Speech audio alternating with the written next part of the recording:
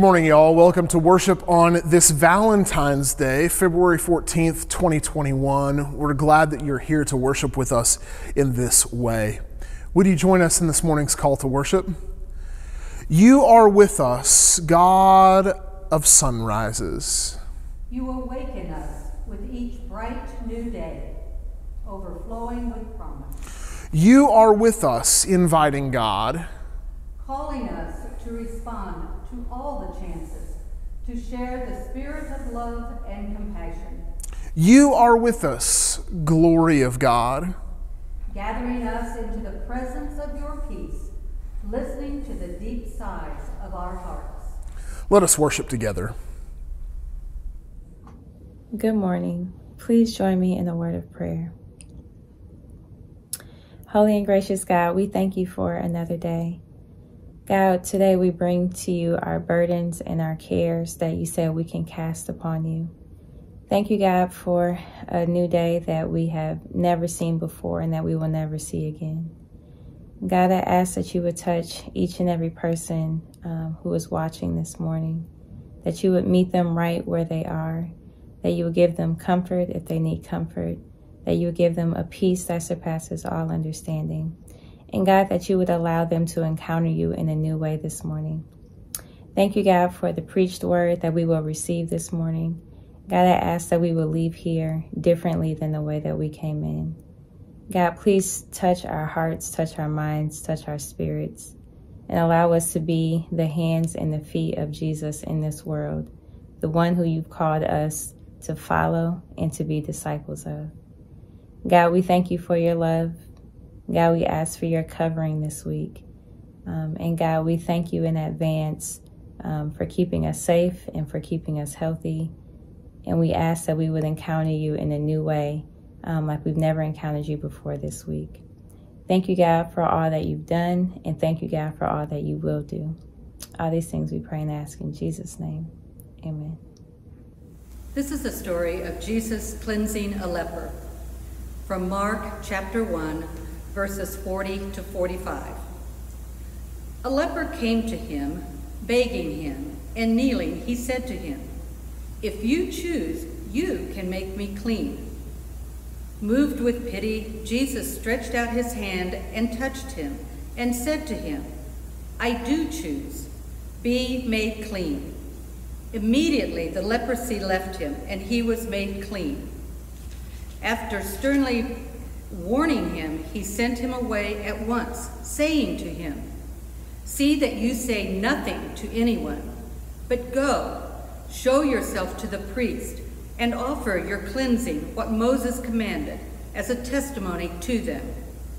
But he went, when he went out and began to proclaim it freely and to spread the word, so that Jesus could no longer go into a town openly, but stayed out in the country, and people came to him from every quarter.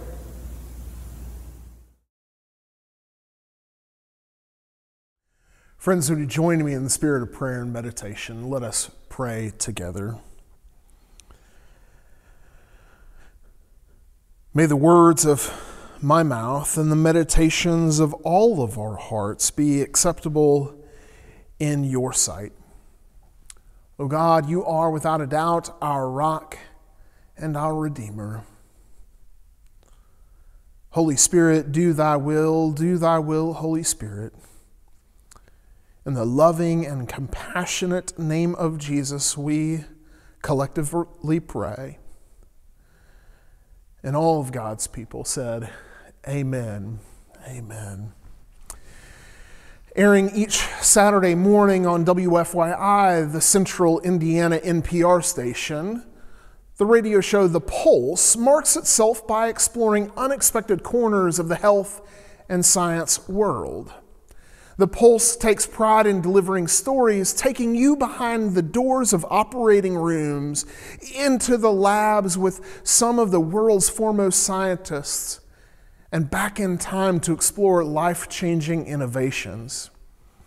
Uh, last week's episode explored the science of love, where love was put under the microscope and into a brain scanner to understand where love begins and where it takes us.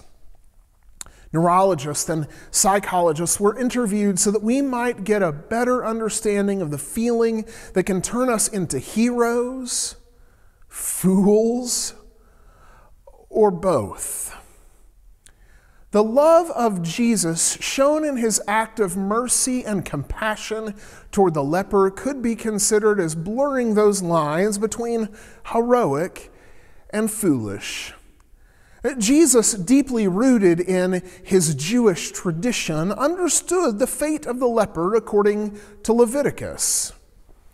The person who has the leprous disease shall wear torn clothes and let the hair of his head be disheveled and he shall cover his upper lip and cry out, Unclean, unclean. He shall live alone. His dwelling shall be outside the camp. These instructions make lepers the ultimate outsiders.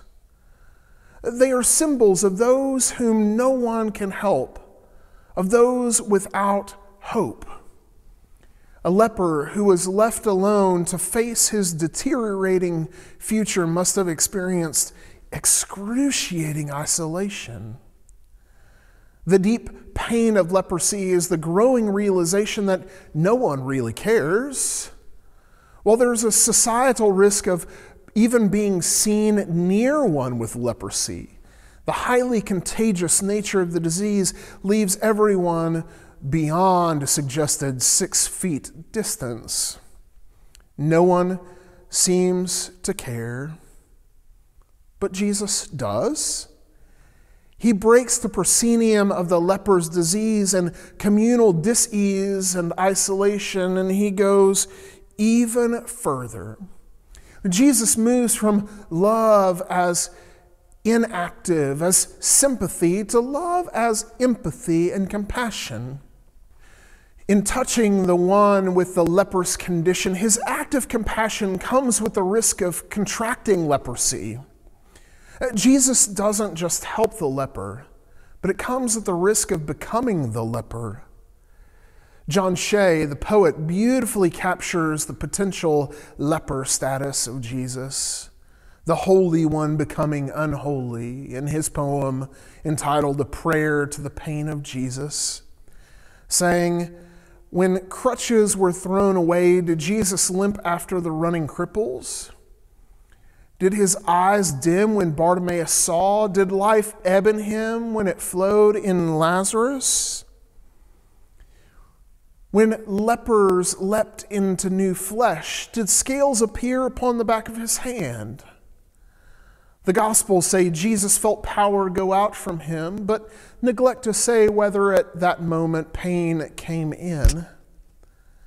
Did the Son of God take on ungrown legs and dead legs and dead eyes and the terrifying knowledge that pain does not go away, only moves on? Jesus' compassion may have included experiencing within himself the total situation of the leper. God's love in Jesus does not heal by exterior contact, but by mutuality, compassion, the empathetic consciousness of others' distress with a desire to do something about it, to alleviate it, even if it risks his own wellness. Circumstances that would make most of us shy away because of the risk factors lead Jesus closer. Jesus seems to put the plight of others above the risks or costs associated to him. Jesus is willing to. No, when dared to touch the untouchable, he wants to. This is love in action. This is compassion. This is the willingness to suffer with another, to share the suffering of the other, to take it upon oneself. As Walter Brueggemann puts it, compassion constitutes a radical form of criticism, for it announces that the hurt is to be taken seriously, that the hurt is not to be accepted as normal and natural, but is an abnormal and unacceptable condition for humanness. For Jesus, whether moved by compassion, or being incensed by the personal physical pain or the emotional pain of isolation, something had to be done, no matter what the cost may be. Jesus' act of love and compassion begs the question of those who live and move and have their being in His name. That question what are we willing to risk to be a part of another's wholeness? It's Princeton University professor and philosopher Peter Singer who talks about a man dressed to the nines walking past some water when he notices a child is drowning. Uh, this man is wearing some very fancy clothes, Armani suit, Ferragamo loafers, and the question is if you're the only one there and the only one capable of saving the child and there is no time to spare, should you in fact ruin your suit, ruin your shoes, and save the life? Let's say that would set you back about $3,000. Almost everyone would say, Well, of course. But Singer turns it around. What if we could demonstrate that there's a child's life halfway around the world and that we could save one or 100 lives at the same cost? $3,000. Why weren't we willing to spend the $3,000? Obviously, the visceral nature and vividness and immediacy of the situation before our very eyes awakens in us a sense of responsibility, perhaps a greater responsibility than a more abstract or remote experience. But it does point us to the cost and responsibility to what Reverend Dr. Martin Luther King Jr. called the interrelated structure of reality and the inescapable network of mutuality. Audre Lorde notes it is not our differences that divide us, it's our inability to recognize, accept, and celebrate those differences. Indeed, it is our refusal to accept and celebrate our interdependence and mutuality and the divine source of connection. When the Pope gets off an airplane and in any country, he immediately kisses the earth. He does this in every land, for all the earth is sacred. There's a sameness, a mutuality to the different terrains of every country and her inhabitants. When the Dalai Lama arrives in a country, he announces to all who are there everyone wants happiness and doesn't want suffering. It's what binds us together the search for happiness and alleviation of suffering. This is true of all, so all are bound together. This is when we begin to realize that I am my neighbor, I am my brother's keeper. Such works of compassion can and should extend to efforts to change social structures and policies on behalf of, as well as advocate for, those who are poor, vulnerable, or treated unjustly. Our works of compassion should express the holistic view that embrace everything life in its entirety in all its dimensions and meanings and seeks to change all things for the better. This is compassion, an act of love, the deepest realization of the one source of all things, a fundamental communion of all things. Friends, compassionate people are moved to interact with others to bear their burdens and sufferings and to alleviate them as possible, even when there is a cost involved. This is compassion. This is love. It is heroic and foolish, and it's faithful. Amen.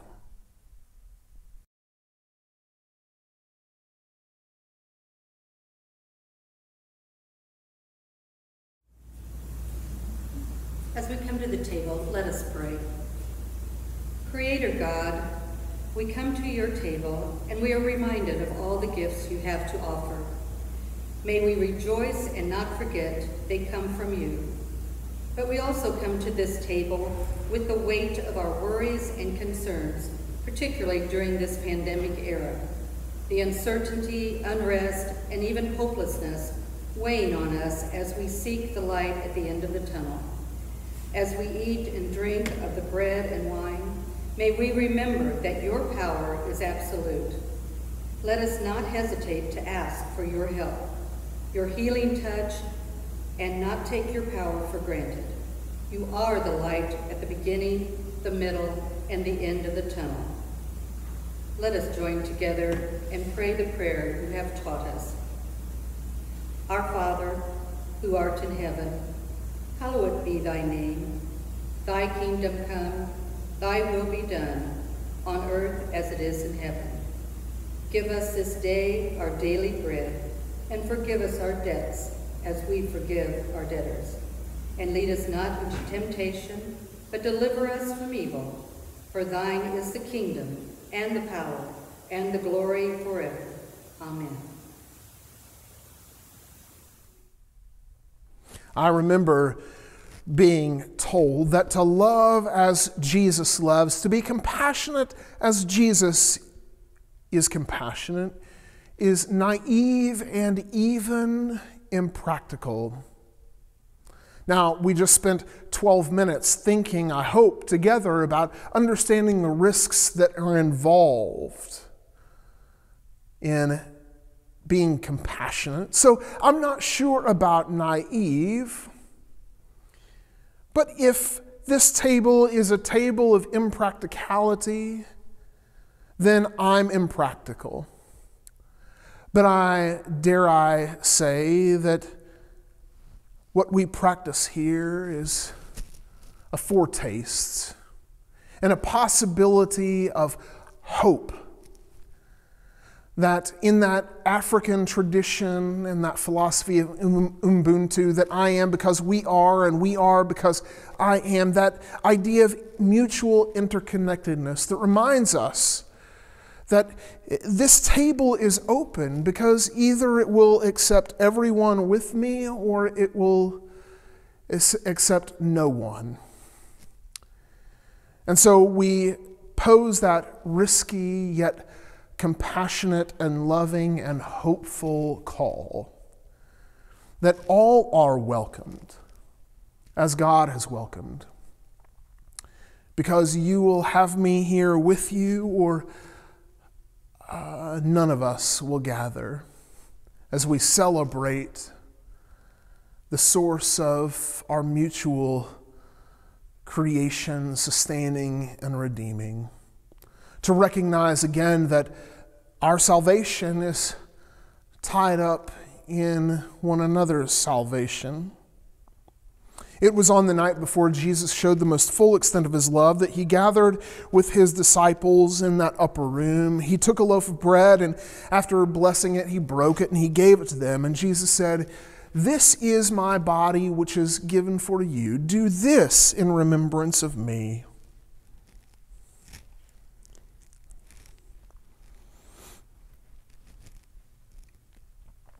Likewise, after supper, he gave thanks for the cup and he gave it to them. And Jesus said, This is the cup of the new covenant which is poured out for you for the forgiveness of sin.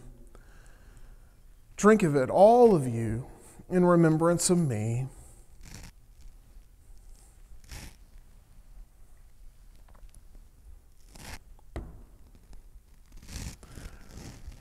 For as often as we eat and drink, in remembrance of Christ, we proclaim his death until he comes, and we celebrate the transformation of all things through the power of love and compassion, as foolish as it may seem.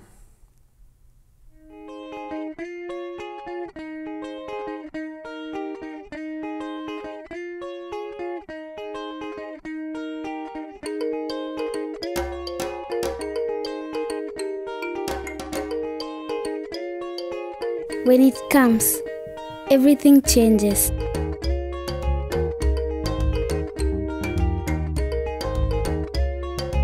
Children can go to school.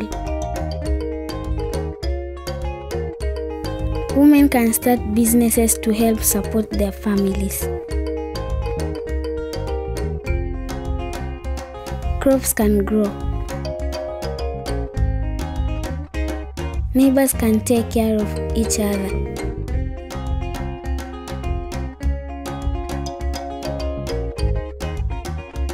Markets can thrive.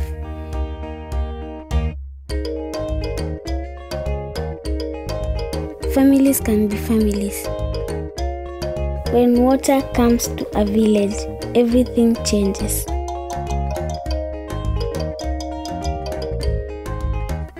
Water is essential to life and the life of a village. We are giving makes projects like new wells in villages possible. Give to week of compassion and let love flow.